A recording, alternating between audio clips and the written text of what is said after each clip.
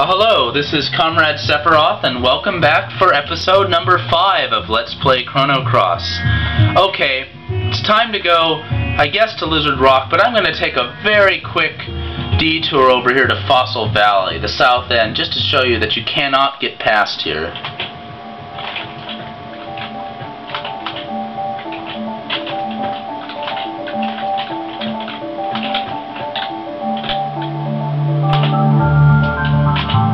There appears to be some sort of a formal government investigation of that.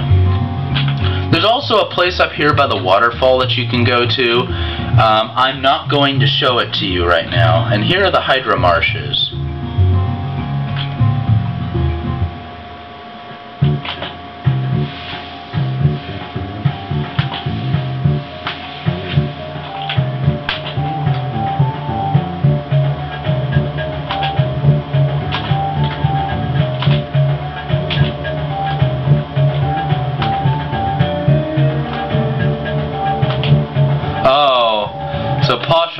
Apparently is useless according to that guy, which is a little bit of a lie because Poshul is actually pretty good, at least early in the game. Later on, she won't uh, be quite as useful, but early on, she's a good attacker when physical strength is what matters.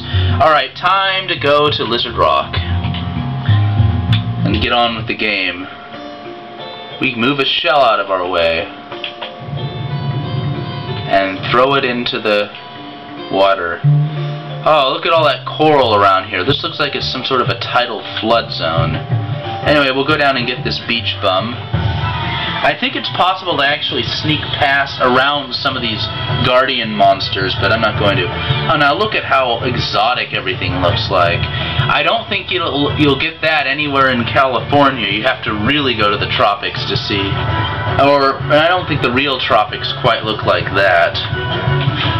This is a fantasy world, remember? Now I'm going to show you a couple of the other elements. Um, let's 16. See, Poshul is very strong, actually. Wait, no, no. Attack.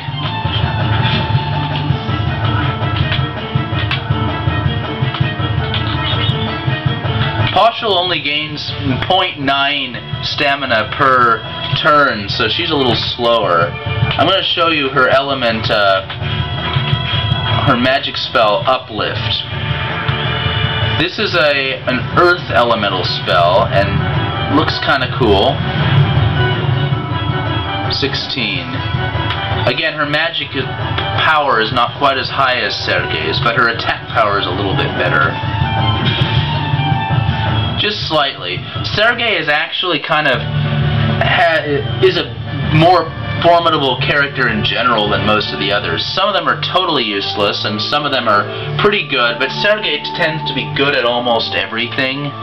And then the other characters have strengths and weaknesses, and some of them are a waste of time. Okay, more bonuses. Off screen I got a few as well. Use the automatic heal. And I got more humors, which will be useful when I start forging equipment. What do we got here? Fireball. Let's check our elements. Oh, I don't have any more space. Though what I could do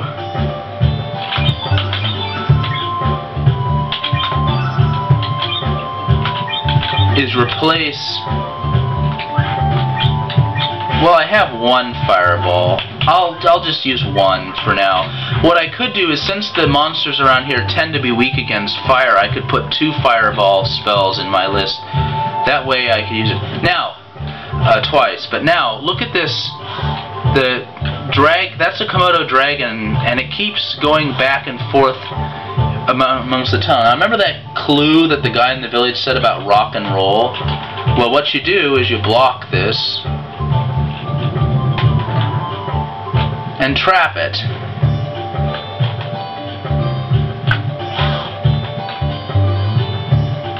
Gotcha. Now you just fight the Komodo dragon and steal its scales. It's kind of a cruel um, thing if you think about it. You're killing um, wild animals for their basically you're poaching them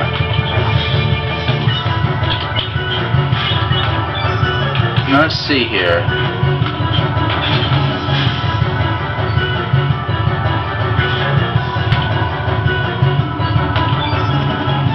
Oh, it is blue. Never mind, I can use my...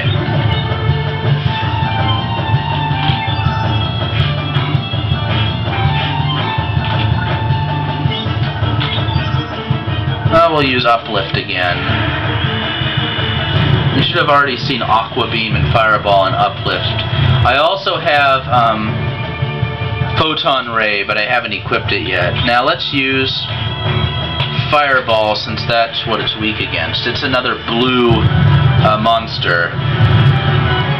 And your characters have innate elemental traits too. Like Sergei is white, which is holy, and Poshul I think is yellow, which is earth and lightning. I know usually lightning is considered a wind or air elemental. Um, got some bones. Um, anyway, a wind elemental attack, like in Secret of Mana, or a holy elemental like in the original Chrono Trigger. And there I got a Komodo scale. But in this game, it's earth and lightning are yellow, wind and plants are green. So it's a little bit different. And then water and ice are blue and fire is red, so that part's simple. Now I could go here right away, but I'm going to take this path. Now it might be, because I already got one Komodo Dragon scale,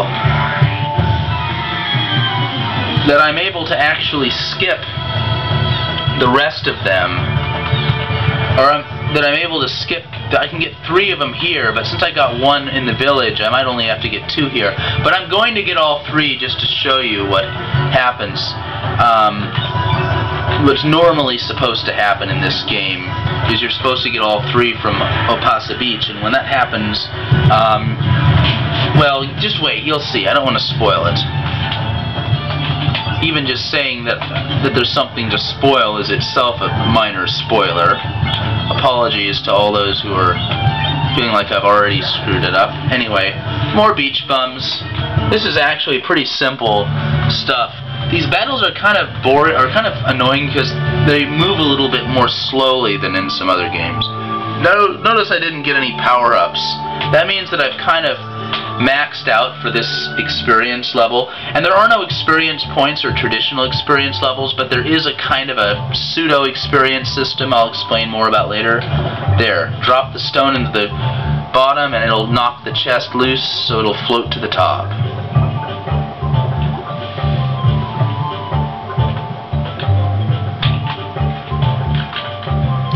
There it is. A silver loop. Let's equip that on Sergei. No, equip it on Poshul, because she doesn't have any. It improves her accuracy, which is, or her hit rate or whatever, but that's important, because you don't want to miss your attacks too often. I'm going to skip that one. Now, this is a key area. Um, another beach bum. I'm going to show you the second trick. Uh, the old man in his riddle said something about the terrain around here, and we're going to use that to find another Komodo dragon, another shy one.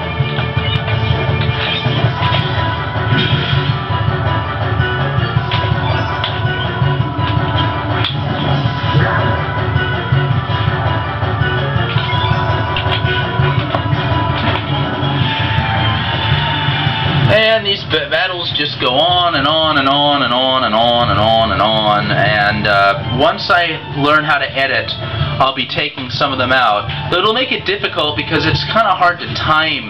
When you're editing out battles, it's hard to tell just how much real, how much unedited time has passed unless you sit around with a stopwatch and keep hitting stop and go, which means it could be difficult to know when I'm going to need to cut for a, a, new episodes. But I'll, I'll cut the battles out anyway. I might just kind of eyeball it and err on the conservative side and make my videos only six, seven, eight minutes long um, by my guess. That way I don't have to worry about going over. And we are just about out of time. We're right at about 10 minutes now, so I'm going to get up here. I'm going to edit this battle I'm entering in out, and I will see you next time on episode, is it 6? Is it, I think it's episode 6 of Let's Play Chrono Cross. This is Comrade Sephiroth, and I hope you have a great evening.